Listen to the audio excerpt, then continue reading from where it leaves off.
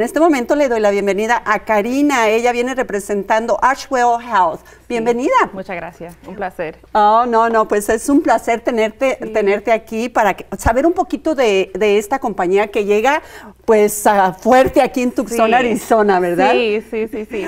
Y la primera pregunta, uh, cuéntanos un poco de, de Archwell Health su expansión aquí en Tucson, Arizona. Claro. Archwell Health es una clínica de salud. Nosotros somos una comunidad donde los envejecientes pueden venir, sentirse bien resididos y entre familia.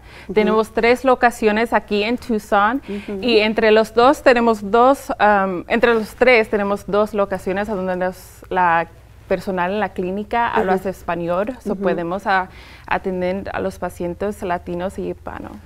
Y, es para la tercera edad, es para las personas que tienen Medicare. Sí. Ah, explícame un poquito de esto. Sí, atendemos pacientes 60 y mayores que tienen solamente Medicare Advantage. sí.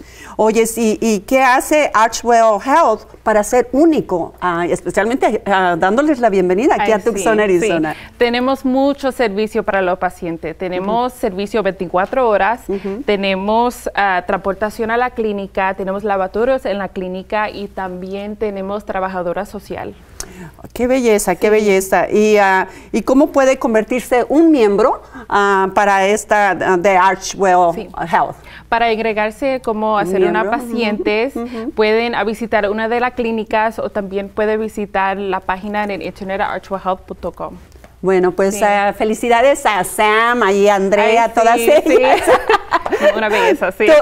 todas ah, muy lindas, siempre, siempre nos atienden ah, como si fuéramos familia, siempre que entra uno a las tiene clínicas. Que hacer también, sí. Qué belleza. bueno, pues felicidades. Muchas gracias. Felicidades. Ya sabes que cuenten con nuestra hora con Leti para que vengan a platicar un poco más de sobre todos los servicios que ofrecen. Perfecto. Un placer. Bueno, pues en este momento continuamos con más de su programa, Nuestra Hora con Leti.